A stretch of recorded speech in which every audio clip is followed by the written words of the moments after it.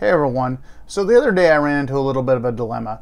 So I do a lot of different jobs. I don't have one real job. I do a lot of gig stuff. Uh, Uber Eats, DoorDash, uh, Amazon. I do computer work. Uh, so I'm kind of all over the place. And a lot of times this will take me to far out areas. Like I, I live in Portland, and the other day I did some stuff in Salem. So in those kind of situations, I may not want to drive all the way back to Portland, you know, in the same night, especially if it's late and maybe I want to stay at a friend's house or something like that. Or maybe if it's the end of the week, maybe I just want to drive over to the coast and stay there for a couple days. Um, so I, I, like to be prepared in those kind of situations. Maybe have my laptop with me, but um, my laptop I have it's an RTX 3080 8 core you know Intel CPU. Honestly, I'd rather not have that in my car all the time.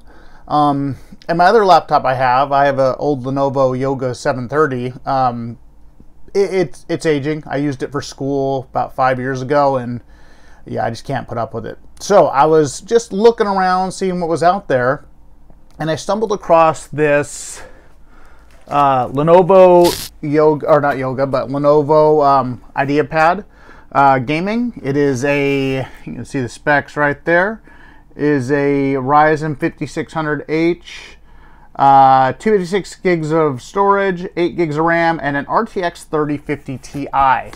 Now, I had initially seen this, and I actually saw the one this year's model. Um, this is apparently last year's model that I got, um, but this year's model has an AMD 6600H in it, um, obviously a little bit better processor, um, and an RTX 3050, not a Ti. Um, I figured though, when it comes to gaming performance, um, the Ti is going to give you a bigger boost than if you're going from a 5600 to a 6600.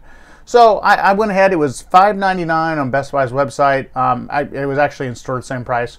So I went in, picked it up, and I've been you know playing around with it for a few days, and I honestly was shocked for the price. Um, there are a few things, obviously, eight gigabytes of RAM, not really good. Um, and 256 gigabytes of storage is obviously not enough for today. So let's go ahead. I'm going to tear it, up, tear it down, show you inside, and let you know what I think about it. For disassembly, you're going to have six longer screws right here. One, two, three, four, five, six. And that's in the back and in the middle. And then you got four small screws. One, two, three, four.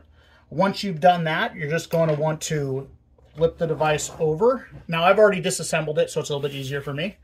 Um, before you do any of this, by the way, go into your BIOS and disable the option to turn on the device when you open your lid. Otherwise, this can be a pain. So once you've unscrewed all of that, you're going to want to just, you know, pop your tool in here and just run it along the edges. It'll pop off pretty easy. It's one of the easier ones I've ever worked with when it comes to that kind of stuff. So looking at the inside now,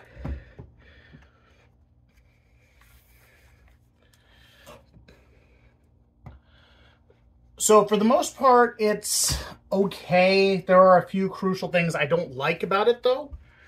So we have, let me get this back in frame. So first thing I noticed with this device is here's your M.2 that comes installed. It's only 256 gigs, which is pretty small, so you're probably going to want to upgrade it. The problem is this is a 2240 size, and it does not go out far enough. You can't like add a bigger one in here. So you're stuck with the 2240, which is, since it's smaller, it costs more money for more capacity.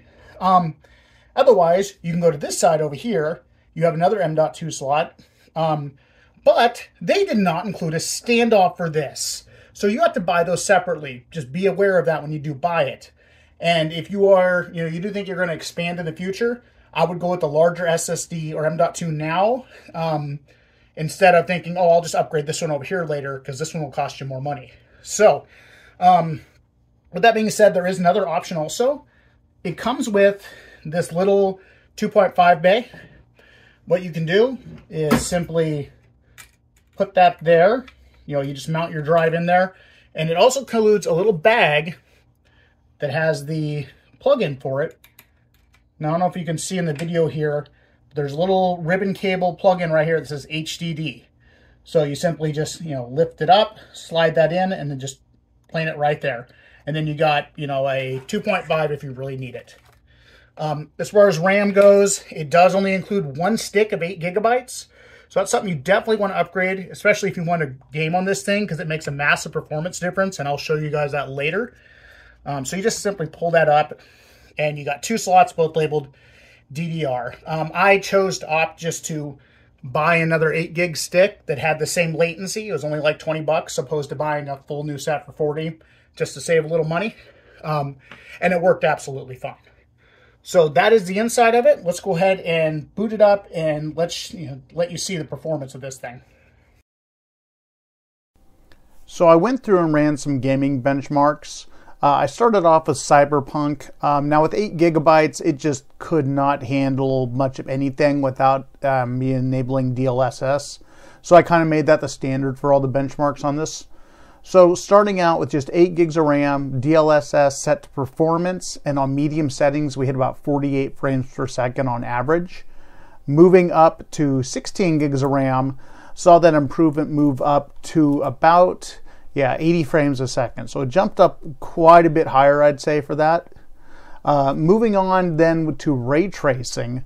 Uh, once again, 8 gigabytes of RAM. Yeah, we only hit about 18 frames a second. Um, and then when we moved up to um, 30 or sorry 16 gigs of RAM, we then hit 35 frames per second. So I would not say this is a playable situation with this game. Um, if you dropped it to low, maybe, but then kind of what's the point in my opinion? Uh, moving on from that, I went to Final Fantasy 14 since it's a fairly common MMO nowadays. Um, and with 8 gigs of RAM, it got a fairly high score which is about the middle of the um, charts for their um, performance when they're measuring things. Um, now, when I moved up to 16 gigs of RAM, we hit an extremely high, which is you know basically 15,000 plus. It's pretty much the highest you can get. Uh, and now, on a personal note, I did just boot up the game. When I was running it with 8 gigs of RAM, I hit about 100 frames per second. And then when I was doing it with 16 gigs of RAM, I hit 170 frames per second. So you can see there's quite a bit of a difference when you're moving up from 8 to 16, and it's well worth it. Um, moving on to Forza.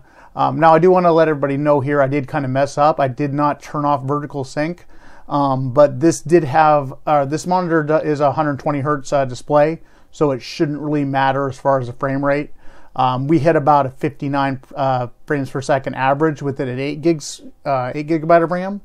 And then when I moved it up to 16 gigabytes of RAM, we then hit 96 frames per second.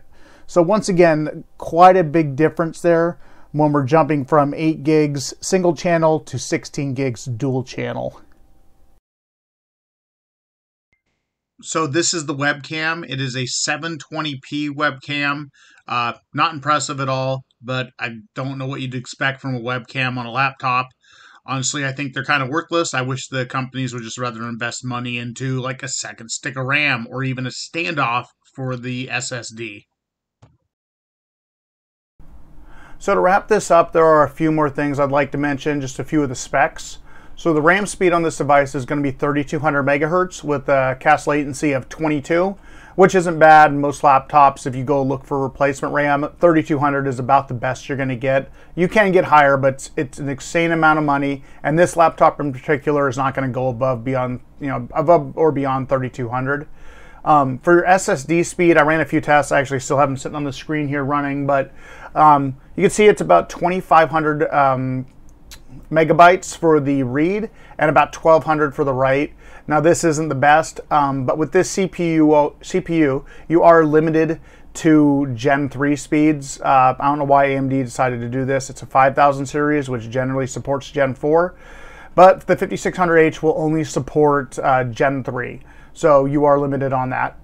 Um, the next thing is you got the monitor. It's nothing special. It's 120 hertz. Um, I couldn't find a lot of info on this, but it looks like it is a variable refresh. There's no HDR on it. Um, only 256 or 256, 250 nits uh, brightness on it. Um, the video card. Now this is. It, it, I've gone on about this before. When I was looking through my charts here, there are nine different laptop 3050 Ti's, and this one falls third from the top. It's an 80 watt variant. Um, it is limited to four gigabytes of RAM, but that didn't seem to hurt it that much because it, it ran very well for what it is. Um, it falls somewhere between a um, laptop 2060 and a 1660 Ti. Um, for your ports on the device, you got two USB uh, 3.2A ports and one USB-C 3.2, and then also you have uh, gigabit Ethernet on the device. Um, besides that, that's pretty much everything. I was honestly pretty impressed for what it is. It's not a ton of money, and I honestly would recommend it. Um, I'm not going to do any like bend tests like a lot of you know people will do. They'll pick it up and try to you know stretch it side to side and all that. I think it's pointless. Um, the keyboard itself is you know whatever. Um, I usually use just an external keyboard anyway, but it does have the uh, num um, the num keys on the side here. Um, so if you do need that, it, it's it's all right, I guess. Um, other than that, that's pretty much everything.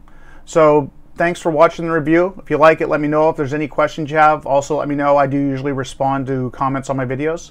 So otherwise, thanks for watching and have a great Christmas.